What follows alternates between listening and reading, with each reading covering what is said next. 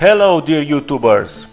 In this episode I want to bring to your attention a current news item related to the plugin that I love and that helps us build our own furniture, namely OpenCutlist.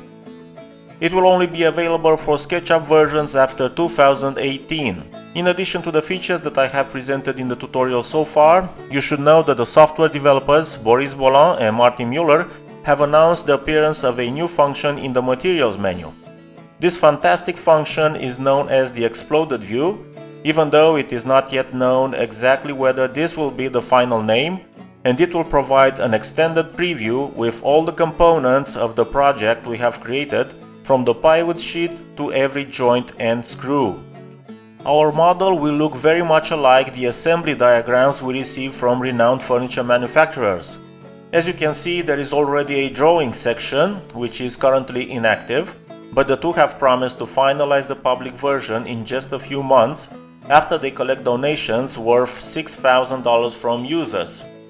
At that time, according to Martin Müller's statement in the news section of OpenCutlist, the two did not expect the entire amount to be raised in less than a month, which is much faster than they were able to code the 5.0 version of the plugin. As you can see in the comments, this has brought a lot of joy to carpenters around the world who are eagerly awaiting the release of the final version. To spare you from my stories, I will show you a few sequences from the teaser provided on the developer's channel titled L'Air du Bois. I will also leave a link in the description to this video so you can get an idea of the future features.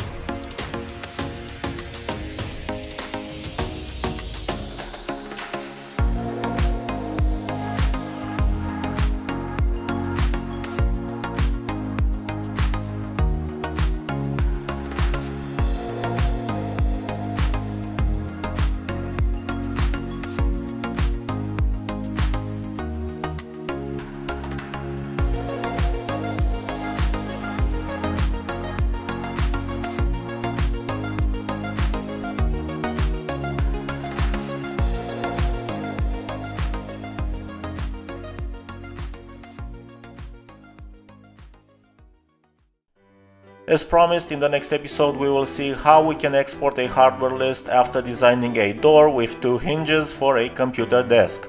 Slowly but surely we are getting closer to our final goal, which is to create much larger projects. That's all for today, the administrator of the DIY Workshop channel thanks you for watching and only if you like the episode invites you to subscribe to the channel for free to be notified of a new tutorial give a like or share the channel with other friends passionate about such projects. Only this way the channel will thrive and be able to generate extremely useful content. Goodbye.